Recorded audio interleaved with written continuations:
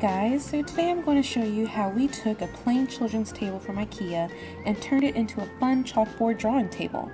If you're not already subscribed, please do so for more easy DIYs and fun family vlogs.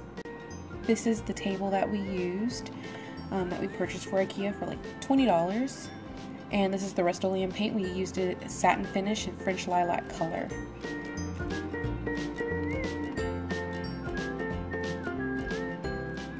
While we were at Home Depot on our little secret trip for this DIY, we purchased a handle for the spray can and it made spraying so much easier and not as painful on your hand.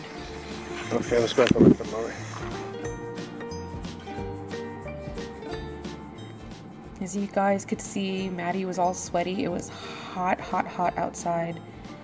Um, we live in southeast Texas and it was ridiculous this past weekend. It was literally 97 degrees. There you go, you can see it. Um, it was really hot. So now we're taking this Valspar black chalkboard paint and stirring it up really well. We forgot to give the top of the table a good sanding to rough up the surface. Um, but we didn't have too much of an issue. It just took quite a few coats of paint to get a good solid surface. My husband had to do this, Jared had to do this because it was nap time and I was inside with the baby.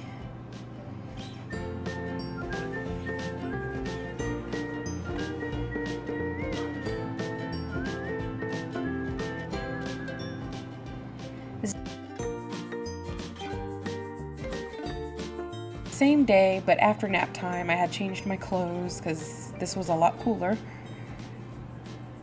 and I'm finishing spraying the other side of the um, of the table.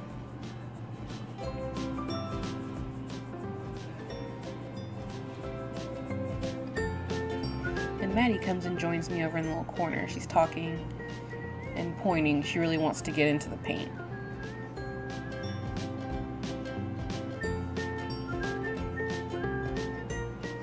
I wasn't too worried about spray painting the inside edges where they would where the wood would touch itself.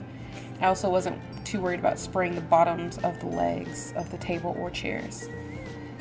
Uh, the instructions for the table are really simple. I'm not really sure why people complain so much about IKEA furniture. It was really easy to put together until Maddie wanted to get involved.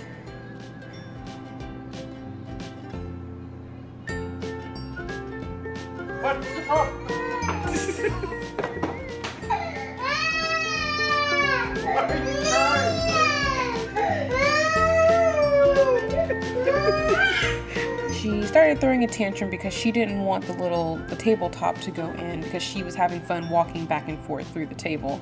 So she had a tantrum and we tried to console her but it was no use so we sent her off to her grandmother or as she likes to be called, Nona. And we finished putting the table together slowly but surely. I'm behind the camera reading off the instructions and Jared is being patient with me. now it's time that we put the chairs together. It pretty much goes the same as the table did.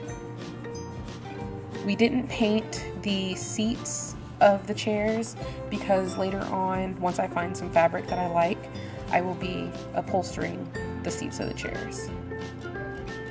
But for now, the white looks nice.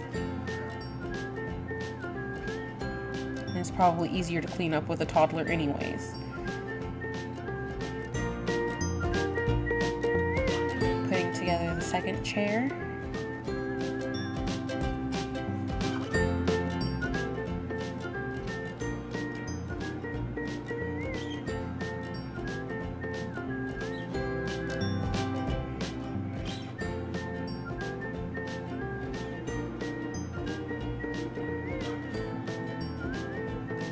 And here's the finished table. As you can see, there's a little white spot where the paint kind of chipped off a little bit from not sanding it, but we'll fix that a little bit later. Um, Maddie really enjoyed it. She started coloring on it before I could get a good shot or picture of it completely clean. um, It didn't wipe off so well with a paper towel or hands like it would on a really smooth chalkboard surface, um, but a wipe was able, or damp paper towel, a wipe or a damp paper towel was able to completely clean it off without leaving any marks. I hope you enjoyed this quick and easy DIY. Go ahead and check out my other videos on my channel and don't, don't forget to like, comment, and subscribe. It's free and I would love to hear your feedback. Thanks for watching. Until next time, bye bye.